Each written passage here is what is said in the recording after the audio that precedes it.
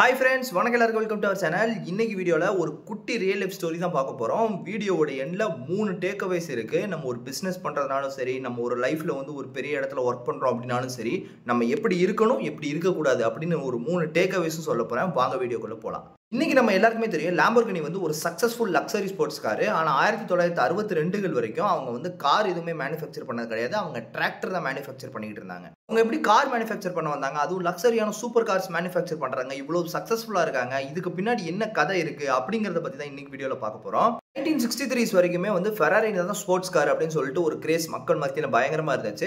லம்பர்குனியுமே வந்து Ferrari car தான் வச்சிருந்தாரு.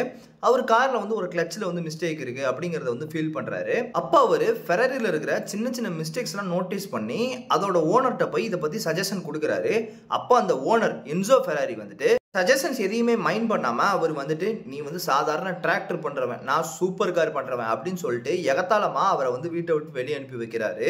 லேம்பர்கினிக்கு வந்துட்டு ரொம்பவே வந்து அவமானமாக அசிங்கமாயிருது. அந்த அவமானத்தை எல்லாமே அவர் கோமாவோ இல்லை வந்து சண்டை போட்டு அதை வெளிப்படுத்தாமல் அவர் செயலில் வெளிப்படுத்துறாரு. நாலே மாதம் அடுத்த நாலே மாதத்தில் ஒரு சூப்பரான ஸ்போர்ட்ஸ் கார் வந்து ரெடி பண்ணுறாரு அது எப்படி டிராக்டர் மேனுஃபேக்சர் பண்ணுறதுனால நாலே மாதத்தில் சூப்பரான ஸ்போர்ட்ஸ் கார் ரெடி பண்ண முடியும் அப்படின்னு தானே கேட்குறீங்க அதுக்கும் ஒரு கதை இருக்குது. ரெண்டு வருஷத்துக்கு முன்னாடி நடந்த இன்சிடென்ட் அது. ஃபெராரியில் வந்துட்டு ஒரு செட் ஆஃப் ஃபைவ் பீப்புள் வந்து ஒர்க் பண்ணிட்டு இருக்காங்க. டாப் கிரேடில் இருக்கிறவங்க சூப்பர் இன்ஜினியர்ஸ் எல்லாருமே.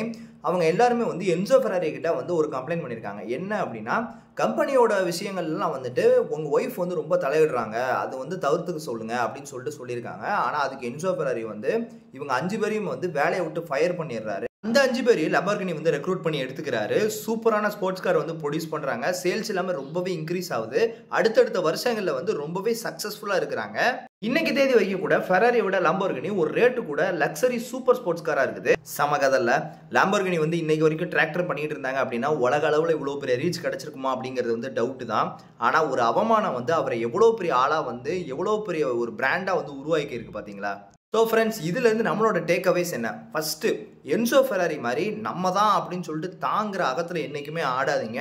கஸ்டமர் ஒருத்தங்க சஜஷன் கொடுக்குறாங்க இல்லை நம்ம கீழே வேலை பார்க்குறவங்க ஒருத்தர் சஜஷன் கொடுக்குறாங்க அப்படின்னா அதை லிசன் பண்ணுங்க. அதில் என்ன அவங்க சொல்ல வராங்க அப்படிங்கிறத கன்சிடர் பண்ணுங்க.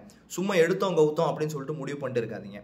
ரெண்டாவது உங்களுக்கு ஏற்படக்கூடிய அவமானங்கள் வழிகள் எல்லாத்தையுமே வந்து கோவமாக சண்டை போட்டு அப்படி வெளிப்படுத்தாதீங்க. செயலில் வெளிப்படுத்துங்க. சாதிக்கணுங்கிற வெறி இருக்கணும். சண்டை போட்டுங்கிற வெறி இருக்கக்கூடாது. மூணாவது சாதிக்கணும்னு வைராக்கியம் மட்டும் இருந்தால் சாதிச்சிட முடியாது. அதை நம்ம எப்படி பண்ணுறோம் அப்படிங்கிறதும் இருக்குது இப்போ லம்போர்கினியே எடுத்துக்கோங்க.